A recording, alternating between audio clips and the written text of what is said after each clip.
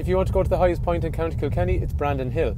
Brandon Hill is pretty easy to find on Google, and actually, it brought us to a Raheendonore car park, uh, but there was a good sign off the road saying Brandon Hill Walk. The road up to the car park was a bit rough, but you know, nothing a normal car can't handle.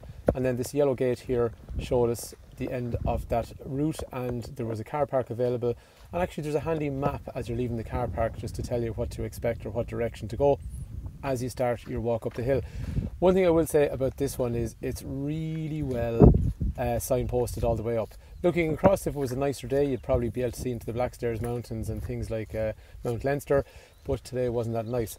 You are faced not that long into the walk with a choice of a left or a right, but um, if you see over here on the left, there's always these signposts over here, and they are very easy to follow and they will tell you what kind of distance you have left on your walk up. So, really, while you will be faced with choices, you never get stuck where you don't know what direction to follow. It's reasonably strenuous walking up, but anyone with an average level of fitness will find it no problem. Uh, but there's a lot of uphill walking at this point at the start for the first 10 or 15, then a little bit of a downhill section. Uh, so you get a little bit of a rest there for about maybe five minutes. You can see where there's another road that links up. Again, the signpost very, very straightforward and you're just walking dead straight on. The surface is actually quite soft as well, so it's quite forgiving. Um, this section here, not very, very steep, but there's still a bit of an incline. And once we get past where the wood has been cut down, you get some nice uh, views again over the countryside. My gut feeling is it's probably from the car park where we were, circa about 50 minutes to an hour. Again, another section here where you might get confused if the signs weren't there because you could go straight on or you could look up to your right but the signpost again, brilliant, really simple, straightforward, and just keep walking. So now we go into a wooded section, a little bit rougher along here. This area would not be buggy friendly, so uh, I don't think you're going to be able to push a child all the way to the top of this one, unfortunately, um, but not something that it would uh, cause for concern with normal footwear. We use runners all the way up. If it was a different time of year, maybe hiking boots might be more prudent.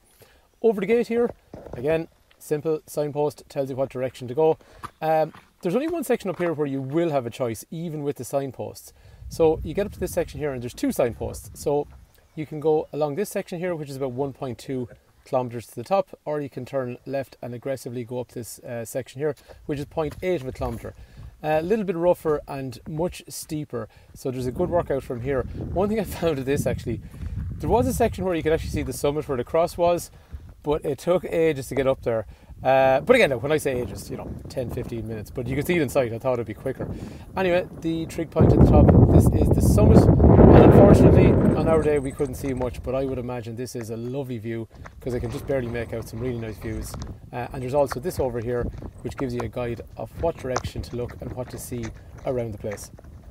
Anyway, thanks a million for watching. Hopefully, the video's been useful. Uh, hopefully, if you do, you'll have a better view than